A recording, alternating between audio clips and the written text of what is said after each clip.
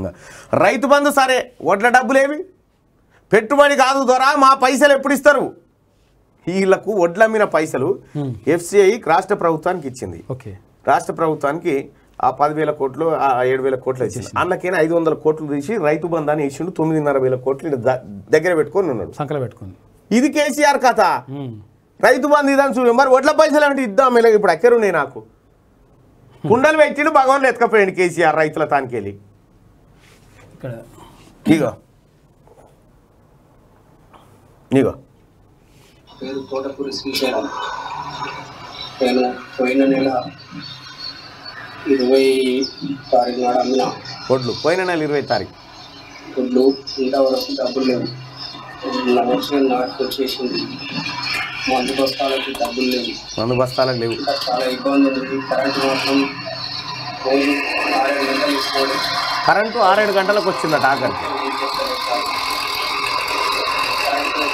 Tractor support చేయ లేవు మాకు బండ డీజిల్ పోస్తాను కూడా ఇబ్బంది ఉంది నాలుగు రోజులు గొడవలు అవుతున్నాయి ఇంత గోల్డ్ పెట్టి మేము వెళ్ళదీస్తున్నాం ఇప్పుడు కానీ. ఇక ఆ గోల్డ్ పెట్టిన డబ్బులు కూడా అయిపోయినాయి. ఇక ఇబ్బంది ఉంది సార్? ఇప్పుడు మీరు ఇంత ముందుకైతే మూడు రోజులు వారం రోజుల్లో డబ్బులు పడేది. ఇప్పుడు మాత్రం నెలలు గడుస్తున్నాయి డబ్బులు వస్తలేవు. ఇది రైతులకు పైసలు లేవు.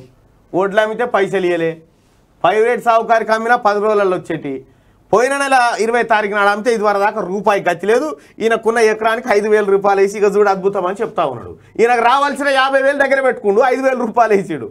ఇది కేసీఆర్ జా నీతి జాతి. చాలా జాగ్రత్తగా ఉండాలి మోసకారి దగ్గర కేసీఆర్ దగ్గర. ఇగో రైతు బంధు సరే. ఇక ఈ రైతు బంధు సంగతి ఏందో చూడ్రి మళ్ళా. ఇగో పెట్టుబడి కాదు దొరా మా పైసలు ఎప్పుడు ఇస్తారు యాదాద్రి జిల్లాలో అరవై ఐదు కోట్ల ధాన్యం పైసలు బకాయి. రబీ సాగు ప్రారంభమై నెల అవుతున్న అందని డబ్బులు ప్రైవేట్ వడ్డీ వ్యాపారులను ఆశ్రయిస్తున్న రైతులంటే ఆయన బంగారం కుదబెట్టి తెచ్చిండాడు ఆ పైసలు కూడా అయిపోయినాయట.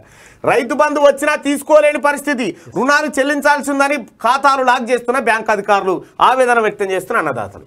నేను కూడా నల్లా ఇది కూడా ఉన్నాయి రైతు బంధు ఐదు వేల రూపాయలు వేయగానే పాత అప్పు ఉంది ఇక్కడదే. రుణమాఫీ కాలేదు చేయలే ఆయన చేయలే మోతేవారు. మస్తుగా చెప్తాడు అయ్యో మా సార్ చేస్తాను. ఓ గా ఏతురు మేము మాకేం నడవేయడ ఈడ. కాగితాల మీద పని మాకు లెక్కల మీద పని. కేసీఆర్ చెట్ల మీద ఇస్తారాకులు గుచ్చినట్టు కాదు. మరి నా పడ్డ పైసలు ఈసారి వ్యవసాయం చేసుకొని ఇయ్యారు అట్లా ఇయ్యారు అని చెప్పి బ్యాంకు నీది నీది ఏం చేసింది చెప్పు. నువ్వే బాధితునుగా ఇక. నేనే బాగుతుంది అయితే ఇప్పుడు అది రైతు బంధు పైసలు వస్తుంటాయి కదా. పైసలు వస్తున్నాయి అలా పడుతున్నాయి. పడితే మనకి ఇంత లక్ష రూపాయల రుణమాఫీ అన్నాడు కదా. తొంభై వేల రూపాయల అప్పు ఉన్నది కదా. ఏది ఏపీజీబీలో. తొంభై వేల రూపాయల అప్పు ఉంటే ఈ వచ్చిన పైసలు వచ్చిన పైసలు అలా పడుతున్నాయి. ఆ. లక్ష రూపాయలు అయ్యేదాకా వాళ్ళు ఇస్తలేరు పైసలు. అంటే మీరు ఫస్ట్ ఈ రుణమా ఇది క్లియర్ కట్టాలి. కట్టేసి కట్టేసిన తర్వాతనే మీకు పైసలు ఇస్తామని చెప్తున్నారు. ఇది కథ. పుల్కల్లా వాళ్ళు అసలు రై అందులో ఏపీజీపీలో ఓన్లీ అకౌంట్ ఉంటే కూడా వాళ్ళది మొత్తం క్లోజ్ చేసి అంటే అంటే ఫ్రీజ్ చేస్తున్నట. పైసలు ఇస్తలేరట వాళ్ళు. ఉట్టిగా అకౌంట్ ఉంటే. గది. పుల్కల్లా ఏపీజీపీలో మన వ్యవసాయం ఇది మన వ్యవసాయదారుడు మన తన అద్భుతమైన వ్యవసాయం. అయిపోయిందా? రైతన్నా తెలిసిపోయిందా? కేసీఆర్ కథ ఏందో?